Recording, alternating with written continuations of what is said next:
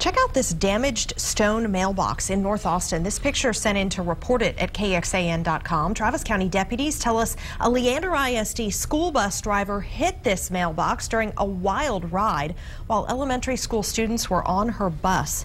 Travis County Sheriff's deputies arrested that school bus driver.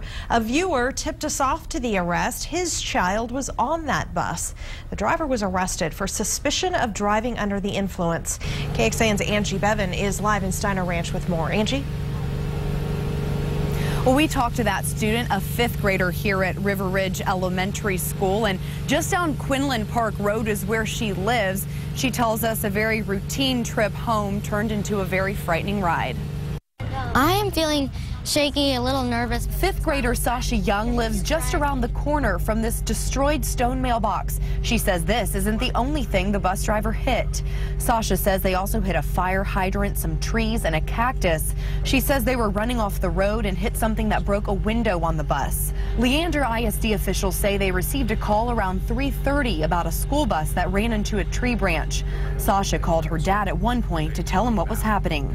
And a few seconds into the conversation, she mentioned broken glass and that I needed to come get her right away. And that's when I knew something was wrong. Sasha says the bus driver didn't seem concerned. She said, Oh, aren't we just having a great time? Maybe we should go faster. Yeah, she's like, nothing to worry about. She was giggling, laughing. Her dad's happy she's home and okay, but is left wondering exactly what went on. This could be anything, and I, I don't want to jump to a conclusion, you know, as to what happened, but I'm just glad everyone's safe because it sounded like it was an extended ride or incident. No one on the bus was injured, and a second bus did come to pick up any of the kids that still needed to be dropped off. The Travis County Sheriff's Office does confirm that that bus driver was arrested on suspicion of DUI. Reporting live in Steiner Ranch, Angie Bevan, KXAN News.